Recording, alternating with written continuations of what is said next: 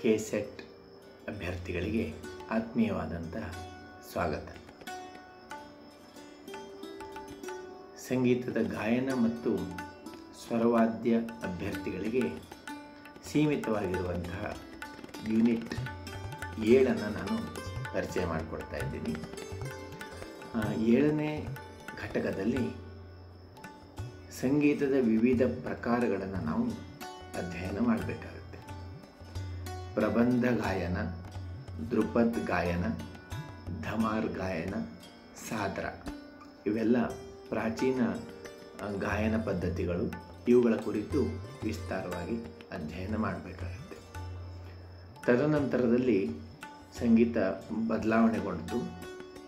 ಆ ಬದಲಾವಣೆಗೊಂಡ ಪ್ರಕಾರಗಳಲ್ಲಿ ಖಯಾಲ್ ಗಾಯನ ಅಥವಾ ಖ್ಯಾಲ್ ಗಾಯನ, ತರಾನ, ತ್ರಿವಟ್ ಚತುರಂಗ, ಸರಿಗಮ ಗೀತ್, ಲಕ್ಷಣ ಗೀತ್, ರಾಗಮಾಲ ಮುಂತಾದ ಸಂಗೀತ ಪದ್ಧತಿಗಳನ್ನು ಮುಂತಾದ ಅನ್ನುವ ಶಬ್ದದಿಂದ ಗಜಲ್, ಚೈತಿ, ಹೋರಿ, ಚಿತ್ರಗೀತೆ, ಭಕ್ತಿಗೀತೆ, ನಾಟ್ಯಗೀತೆ ಮುಂತಾದ ಎಲ್ಲ ಗಾಯನ ಪ್ರಕಾರಗಳನ್ನು ನಾವು ಅಧ್ಯಯನ ಮಾಡಬೇಕಾಗತ್ತೆ. ಇದರ ಜೊತೆಗೆ ಠುಮ್ರಿ ದಾದ್ರ, ಟಪ್ಪ, ಹೋರಿ, ಖಜರಿ ಮತ್ತು ಚೈತಿ. ಈ ಗಾಯನ ಪ್ರಕಾರಗಳ ಕುರಿತು, ಉಪಶಾಸ್ತ್ರೀಯ ಸಂಗೀತದ ಪ್ರಕಾರಗಳ ಕುರಿತು ನಾವು ಅಧ್ಯಯನವನ್ನು ಮಾಡಬೇಕಾಗತ್ತೆ. ಲೈಟ್ ಮ್ಯೂಸಿಕ್ ಅಂದರೆ ಲಘು ಸಂಗೀತ.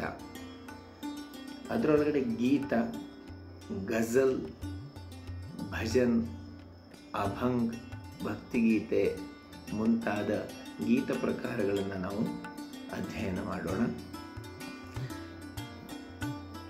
ವಾದ್ಯಗಾರರಿಗೆ, ಸ್ವರವಾದ್ಯಗಾರರಿಗೆ, ವಿಶೇಷವಾಗಿ ಫಿರೋಜ್ ಖಾನಿ ಘತ್, ಮಸೀದ್ ಖಾನಿ ಘತ್, ರಜಾ ಖಾನಿ ಘತ್, ಜಾಫರ್ ಖಾನಿ ಘತ್ ಮತ್ತು ಇವುಗಳ ಜಾತಿ ಜಾವಳಿ, ಕೃತಿ, ತಿಲ್ಲಾನ, ರಾಗಂ ತಾನಂ ಪಲ್ಲವಿ ಇವುಗಳ ಕುರಿತು ಅಧ್ಯಯನ ಮಾಡಬೇಕು. ಇಲ್ಲಿ ಎರಡು ಪ್ರಕಾರದ ವಿಷಯಗಳಿದ್ದಾವೆ. ಫಿರೋಜ್ ಖಾನಿಗತ್, ಮಸೀದ್ ಖಾನಿಗತ್, ರಜಾ ಖಾನಿಗತ್ ಮತ್ತು ಜಾಫರ್ ಖಾನಿಗತ್ಗಳು ಸಿತಾರ್ಗೆ ಸಂಬಂಧಪಟ್ಟಂತಹ ವಿಷಯ. ಜಾತಿ, ಜಾವಳಿ, ಕೃತಿ ತಿಲ್ಲಾನ ರಾಗಂ, ತಾನಂ ಇವೆಲ್ಲ ಕರ್ನಾಟಕ ಸಂಗೀತಕ್ಕೆ ಸಂಬಂಧಿಸಿದಂತಹ ವಿಷಯಗಳು. ಹಾಗಾಗಿ ಈ ಎಲ್ಲ ವಿಷಯಗಳ ಕುರಿತು ನಾವು ಅಧ್ಯಯನವನ್ನು ಮಾಡಬೇಕಾಗತ್ತೆ.